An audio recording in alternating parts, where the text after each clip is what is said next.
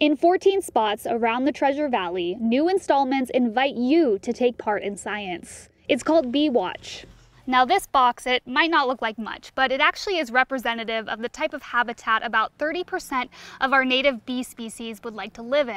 And it's part of a new citizen science initiative to study bees locally. I, I really love plants and you know, we can't have plants without bees.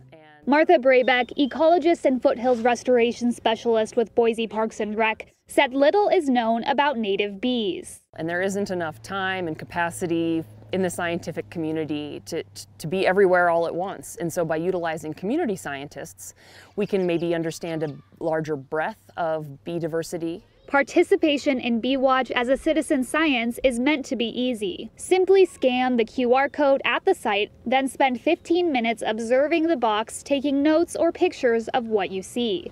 At the Foothills Learning Center, even after accidentally knocking the box during my experiment, nothing came out after 15 minutes. At that point, you can explore the surrounding habitat to see what's out and about. One trick to finding bees, listen for a gentle hum, which turns into buzzing the closer you get.